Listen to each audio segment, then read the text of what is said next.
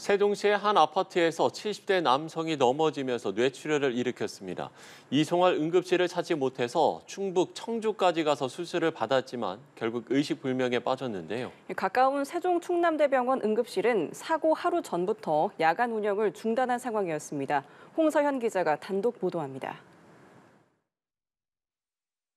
세종시의 한 아파트.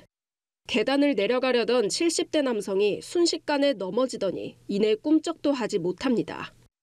뇌출혈로 당장 병원에 가야 하는 상황. 가까운 곳의 국립 세종충남대병원은 하루 전부터 야간 응급실 운영을 중단해 문도 두드리지 못했습니다. 제일 큰 병원의 응급실이 이제 18시 이후에는 운영을 안 하고 그렇기 때문에 아예 뭐 전화를 해본다거나 가본다거나 하는 생각은 안 하시고 수술받을 병원을 찾아 헤매길 18시간. 다음 날 오후가 돼서야 청주의 한 종합병원에서 수술을 받았지만 여전히 의식을 찾지 못하고 있습니다.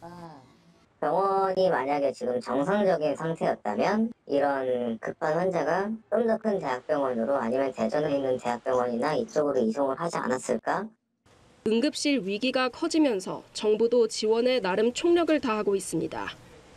가용자원인 군의관 총 250명을 응급실에 투입했지만 근본적인 문제를 해결하기엔 역부족입니다. 세종 충남대병원에 추가로 파견 온 군의관은 전공이 다르다는 이유로 응급실 근무를 거부해 총 8명의 파견이 취소됐습니다. 강원대병원에 파견된 군의관 6명도 모두 부대 복귀를 요청했고 동아대병원은 파견 인원 8명 중 1명만 남아 근무하고 있습니다.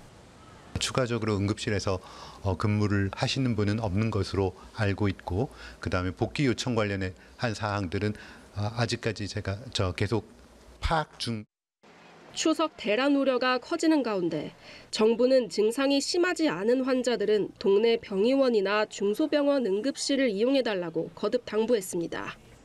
연합뉴스 TV 홍서연입니다.